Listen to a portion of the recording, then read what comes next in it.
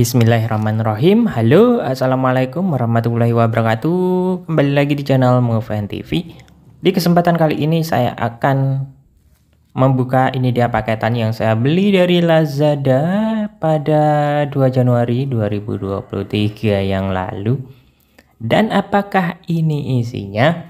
Langsung saja kita buka Sama gunting kita buka dari sini saja ya. Guntingnya ini patah karena udah dibikin buat memangkas pucuk merah itu. Jadi saya lem bakar guntingnya daripada dibuang karena ini guntingnya masih bisa dipakai ya.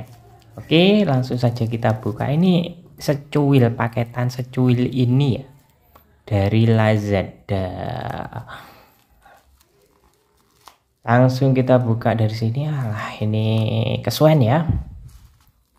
Lamaan jadi langsung saya buka saja. Ini dikasih bubble wrap biar nggak pecah apa toh ini isinya. Isinya adalah headset bluetooth. Nah headset bluetooth ini saya beli di lazada karena memang ada potongan diskon.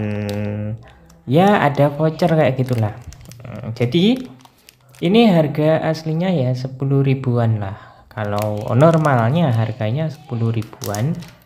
Karena memang ini headset bluetooth biasa saja nggak ada merek nggak bermerek ya.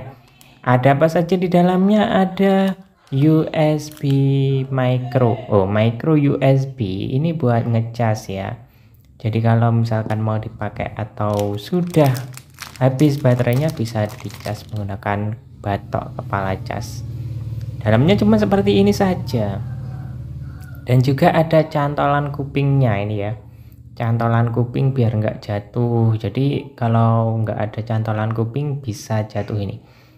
Tinggal kita tancepin saja memang gampang. Kalau mau di kuping sebelah kiri ya mengarah ke sini. Kalau ke sebelah kanan ya menyesuaikan bentuk kupingnya lah kalau kanan dibalik ke sana kalau kiri dibalik ke sini. Jadi disesuaikan saja. Nah nggak ada yang spesial di sini.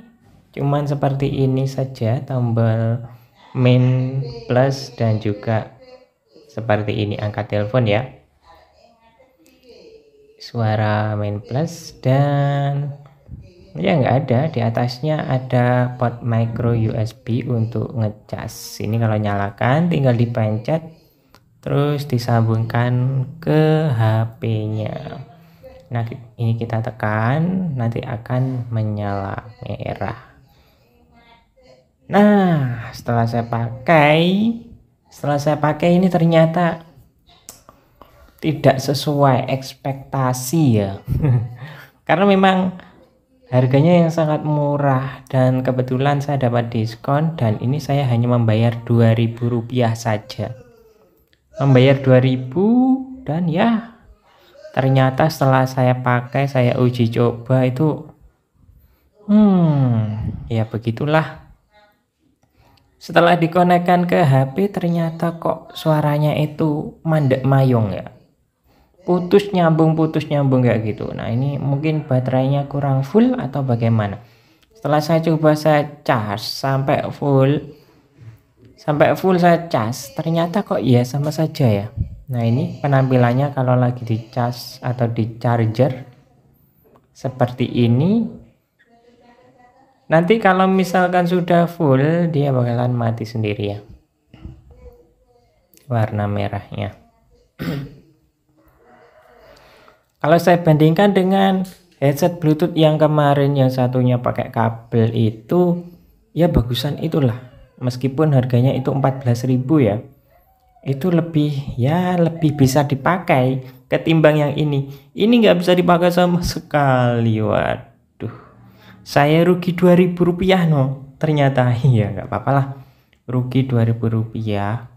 Karena ini memang nggak bisa dipakai benar-benar ya bisa dipakai. Bisa nyambung tapi jarak sekitar eh, satu meter nggak ada satu meter lah itu tiba-tiba hilang. Kalau dideketin lagi muncul lagi HP-nya ya kan? Terus apa gunanya Bluetooth itu? Kalau cuman satu meter atau e, kurang dari satu meter itu udah terputus harus dideketin HP-nya baru nyambung lagi. Wah itu enggak. Enggak enggak seperti itulah. Wah saya rugi ini 2000 benar-benar rugi 2000 ini saya. Wah ini enggak terpakai. Akhirnya ya enggak saya pakai karena memang kalau buat muter lagu juga wah putus nyambung putus nyambung ya udahlah saya enggak pakai. Ya mungkin itu aja untuk video kali ini. Terima kasih. Wassalamualaikum warahmatullahi wabarakatuh